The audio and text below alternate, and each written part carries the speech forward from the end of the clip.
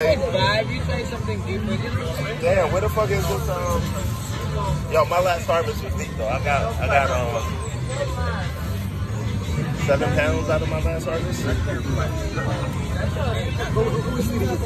I, I'm in, I live in Jersey. I live in Jersey.